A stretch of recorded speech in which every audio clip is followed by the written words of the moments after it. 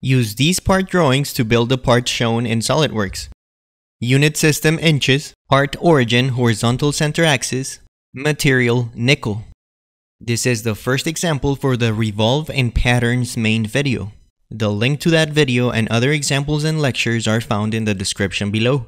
Since the section view is coming from the left, we need to create a sketch on the right plane as seen from the left.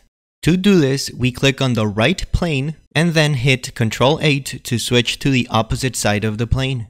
On this left plane, we create a horizontal centerline at the origin, roughly copy the shape of our cross section, and use the given dimensions to fully define it, including properly locating it with respect to the part origin.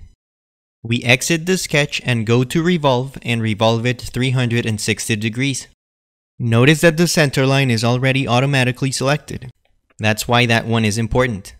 Now we go to extruded cut and on the front face, to make the round trapezoidal shape, we use two circles, 0.87 apart and 0.16 away from the outer circle edge we have.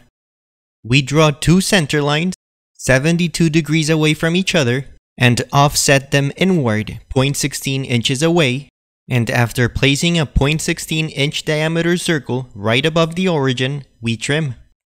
We can do the pattern at a sketch level or proceed with the cut and pattern it at a feature level. Let's do both. To do it at a feature level, we exit the sketch, cut through all, select the cut extrude item, go to circular pattern, select the circular direction by selecting a cylinder, and create 5 of these with equal spacing. We give it a nickel material and we're done.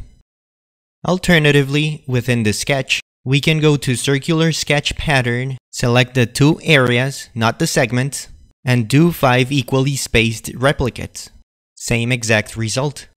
The links to more CSWA type examples, as well as the main 10 minute lectures of the SOLIDWORKS course and other engineering courses are found in the description below, so make sure to check them out. Thanks for watching.